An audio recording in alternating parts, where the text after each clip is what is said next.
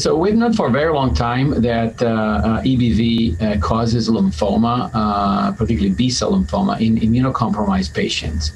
Um, what uh, it has been, you know, less uh, sort of clear, certainly from the standpoint of mechanistically, is how EBV causes or contributes to lymphoma in patients with who are immunocompetent.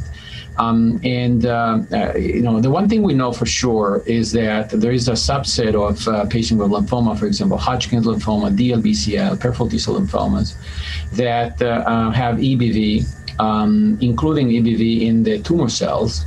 Um, and uh, we don't know what causes uh, some patients to have EBV associated uh, lymphoma versus non EBV associated lymphoma. What we know is that uh, the uh, the ability, the, the presence of the virus um, actually provides a vulnerability that can be leveraged uh, to target lymphomas, particularly because these lymphomas are EBV associated, actually um, have a worse prognosis uh, in, in several different subtypes of, of lymphoma.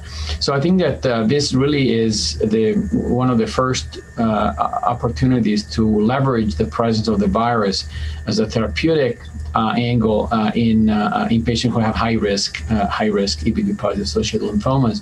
All prior attempts have been focusing particularly on immunology and immune responses. So with either with CTLs more recently with uh, CAR T.